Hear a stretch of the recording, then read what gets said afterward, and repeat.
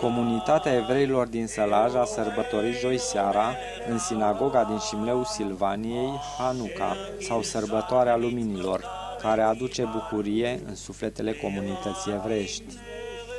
Legendele mistice iudaice relatează că, atunci când preoții au intrat în templu, au găsit numai atâta ulei sfințit cât să lumineze templul o singură noapte. S-a întâmplat însă o minune și uleiul a ars 8 zile și 8 nopți, adică atâtea zile până când prima amforă cu ulei de măsline a ajuns la templu. În amintirea acestei minuni, evreii din întreaga lume aprind lumânărele de Hanuca, timp de 8 zile în fiecare an.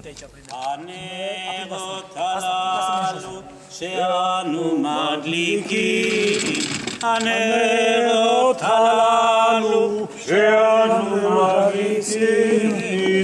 seara, bine ați venit, Burhim Havaim.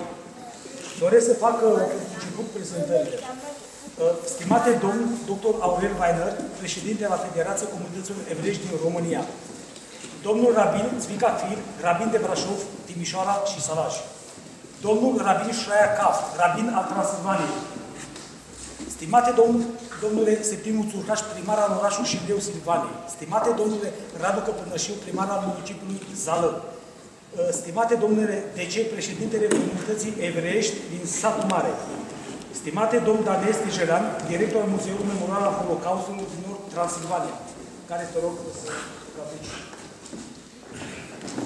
Doamna Cociș,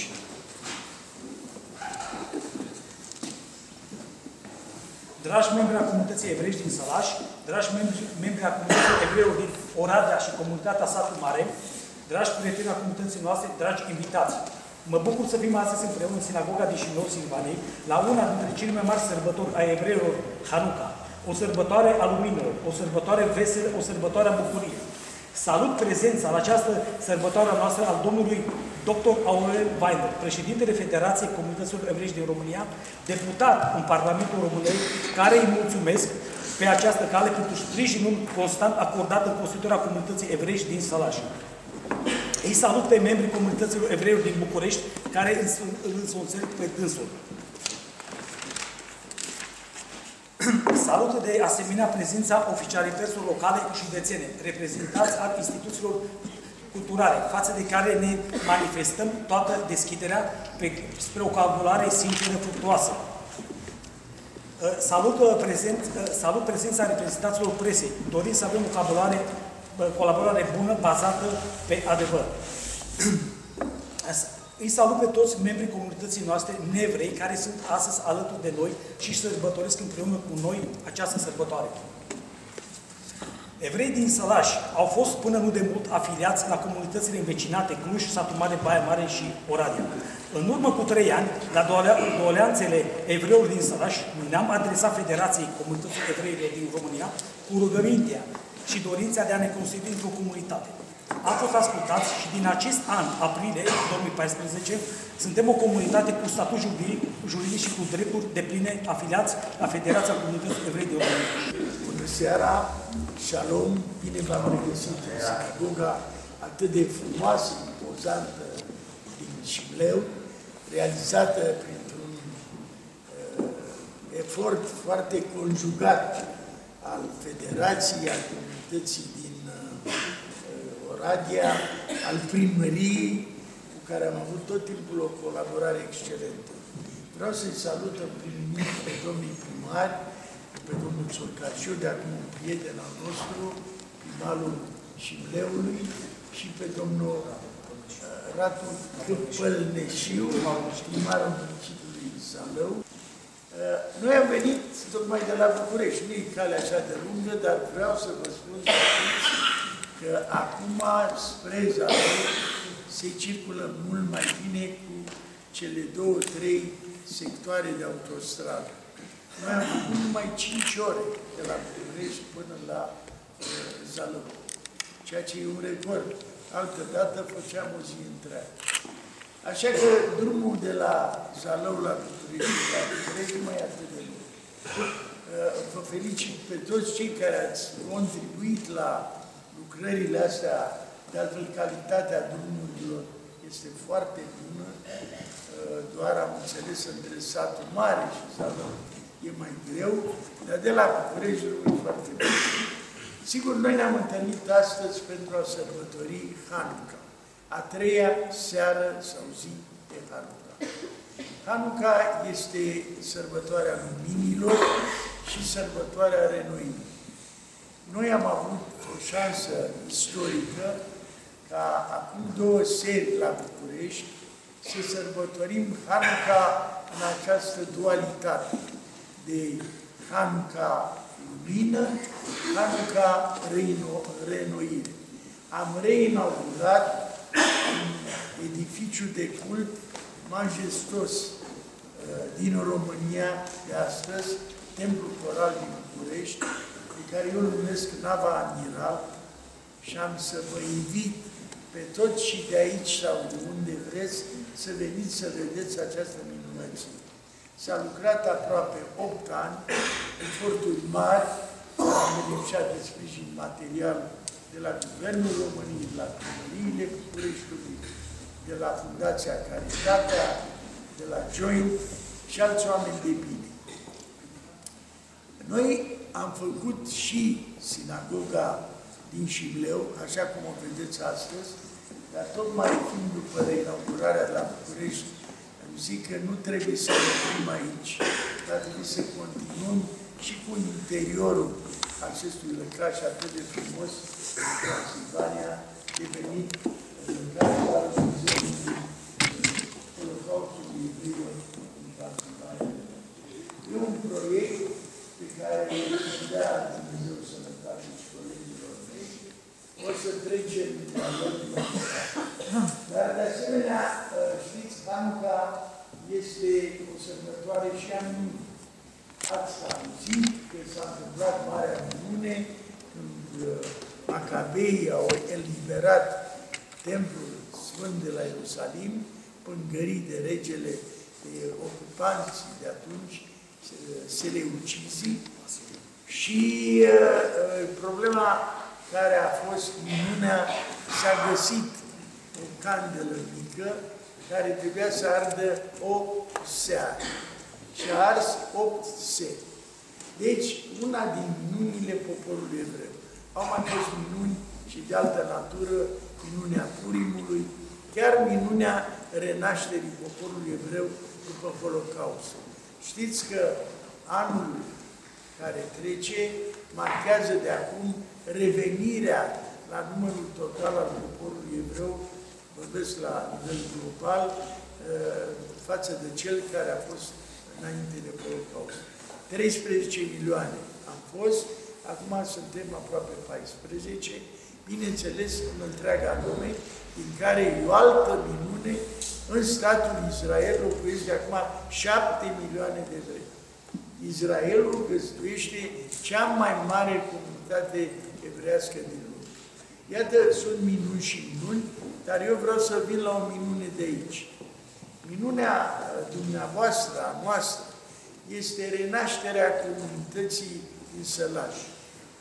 An de zile ea a fost o mică obște, așa cum spunea președintele Has, legată de comunitățile mai mari, Oradea și uh, Cluj, a, Maramureș și Cluj, iar la inițiativa acestui grup, cam tinerel așa, nu credeam, vrem să ne facem comunitatea evrească la Sălaș. Și nu s-a lăsat până nu ne-a convins că trebuie să o facem și am făcut. Și eu susțin că este o minune. Îmi amintesc că am mai fost într-o seară, într-un șabaton, nu știu care, și m-am întâlnit cu viitoarea comunitate.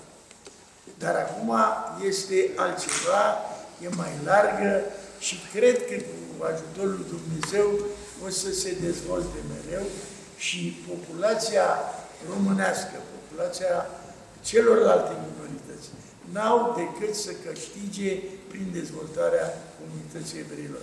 Trebuie să vă spun nu ca să ne lăudăm, dar sunt multe localități în care evreii nu mai există în România. Există sinagogii, există cimitirele.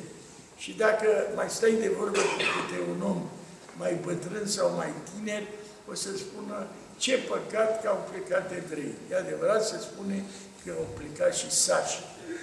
Dar așa e istoria oamenilor și oamenii vin, pleacă, se nasc și așa că sunt plin de speranță că această foarte mică comunitate, cea mai mică la ora actuală, din Sălaș, va crește, se va dezvolta și va înflori.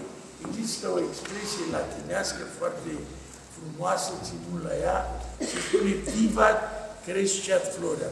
Să trăiască, să crească și să înflorească comunitatea evreilor din Sălaj într-o perfectă armonie cu toți ceilalți locutori acestui județ. Am venit acum, eu am intrat altă dată numai prin zona industrială, dar am văzut că aveți o zonă foarte frumoasă, rezidențială, la intrarea, cum am venit noi, nu știu de unde am venit, de la Cluj, de la Cluj, nu, de la Cluj, da, da, da. Și uh, sunt convins că Sălajul va înflori și el tot mai mult. Uh, am, l-am vizitat, mi-a plăcut de atâtea ori locul, așezarea, oamenii, aveți conducători foarte Și asta este de laudă, cel puțin cu domnul primar Țurcașiu, suntem ca și niște colegi foarte, foarte apropiați, a sprijinit toate proiectele de aici. De altfel, când am venit prima dată și am văzut seara templu, am zis, dar asta e o minunăție, cum o lăsăm așa? Și așa am făcut eforturi, ă, s-a făcut cât s-a făcut destul de mult, dar eu promit în fața comunității, a factorilor locali, că vom depune eforturi să continuăm proiectul de modernizare și de îmbunătățire artistică interioară a sinagogii, din a templului sinagogii, cum îi spuneți, din Sălaș. Eu sper de asemenea să defie o deplină armonie între comunitatea din Zalău și mica obște care este în Sălaș, în Șimleu și nu Șfalău și așa mai departe, și că vom avea mai departe o colaborare excelentă cu Muzeul Holocaustului din Transilvania la Nord, având un pion atât de important, domnul Daniel Stejărean, care este extrem de aproape de toată problema evrească și de memoria Holocaustului. Vă felicit pe toți, vă spun Hak Hanukkah Sameach, fie ca sărbătoarea de Hanukkah să ne aducă tuturor sănătate, bucurii și împliniri și când ne apropiem și de sărbătorile de Crăciun și de Anul Nou, sărbători fericite tuturor. Vă mulțumesc și acum vreau să fac un dar domnului președinte Has, ca un simbol al luminii și al renoirii, care este această Hanukkah. Să o folosiți cu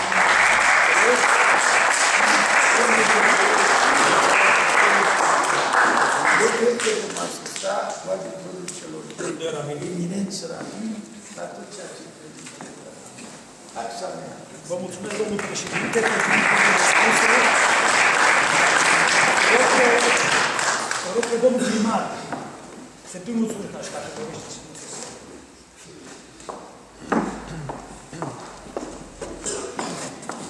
Seara tuturor, sigur este o mare bucurie pentru noi să ne întâlnim aici în această sinagogă și făcând legătură între sărbătoarea Hanuca și minunile care s-au întâmplat atunci, putem să concluzionăm că există o legătură cu ceea ce se întâmplă în Șimleu și ceea ce s-a întâmplat în, acest, în acel moment. Cu faptul că în Șimlani știm foarte bine ce a fost aici pe vremea dinainte de 89, respectiv un depozit și în anii următori o clădire dărăpânată și cu sigur domnul Vaina a povestit aici despre toți cei care s-au implicat în această activitate. Am fost și noi parteneri și o să fim în continuare. Mai este puțin de lucru, dar ceea ce a fost aici și ceea ce este acum, diferența este de la cer la pământ. Eu vreau să felicit pe toți care s-au implicat în această acțiune. Sigur, minunile se întâmplă întotdeauna și povesteați uh, înainte că au existat evrei mai mulți care nu mai sunt, au existat sași mai mulți care nu mai sunt. Uite că se întorc și la cârma României Saș. Oamenii care sunt performanți întotdeauna vor fi niște oameni apreciați și noi ne dorim foarte mult ca această comunitate importantă evrească care a fost în zona Șimleului să fie respectată prin tot ceea ce se întâmplă aici. Avându-l pe Daniel Stejeran, sper să-l avem cât mai mult timp, avem certitudinea că tot ceea ce se întâmplă aici va face ca fosta comunitate evreiască numeroasă să fie încă vie în orașul Șimleu Silvan. Avem toată această disponibilitate și mulțumesc tuturor acelora care fac ca orașul Șimleu Silvanie, prin sinagogă, prin Muzeul Holocaustului, să fie un oraș bine. Sărbători fericite tuturor, să aveți parte de tot ceea ce e bun și frumos cu ocazia sărbătorilor, iar anul 2015 să fie pentru noi toți un an mai bun.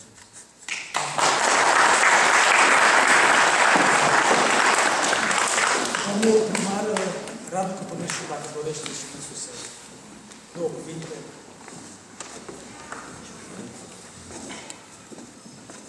Bună seara, domnule președinte, stimați rabini. Nici nu cunosc foarte bine modul de adresare, trebuie să recunosc acest lucru uh, pentru faptul că n-am avut ocazia, decât din povești, să aud foarte multe lucruri uh, despre evrei care au fost în România. Când eram mic, uh, cunoșteam o familie, eram prieten, cu toate că băiatul era ceva mai mare decât mine ca și vârstă, dar nu era chiar atât de mare. Diferența era familia Lăp. Uh, și la un moment dat am aflat că au plecat din Zalău și am fost foarte surprins. Mi se părea foarte ciudat la acea vreme să văd că cineva pleacă, ce de ce a plecat din Zalău.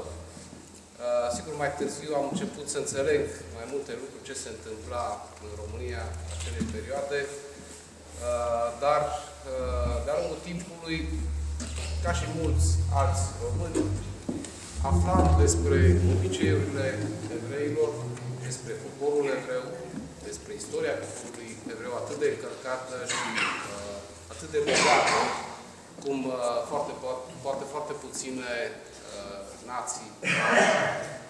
Uh, sigur, de multe ori auzeam povețele date de rabini și care te surprindeau de multe ori, uneori la nivel de glumă, altor uh, efectiv uh, prin uh, povețele care le dădeau rabinii, te surprindeau de altfel printr-o normalitate și o simplitate atât de mare încât parcă e ca și ceva ce ți în fața ochilor și nu vezi.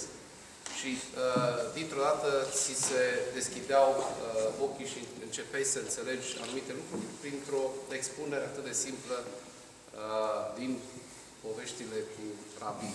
Astăzi mă aflu în situația în care să fiu într-o astfel de comunitate, mă bucur și uh, vreau să vă felicit că începeți să vă adunați, pentru că, într-adevăr, România trebuie să fie un loc în care comunitățile, minorități sau românii care, să spunem, se consideră majoritari, trebuie să trăiască în uh, armonie, în înțelegere și, până la urmă, să construiască împreună pentru o viață mai bună viitorul acestei uh, țări, acestei uh, zone. Vă mulțumesc încă o dată pentru invitație.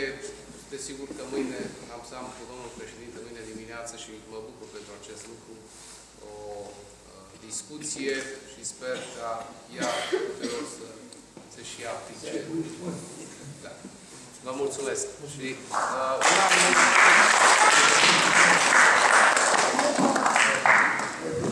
mulțumesc.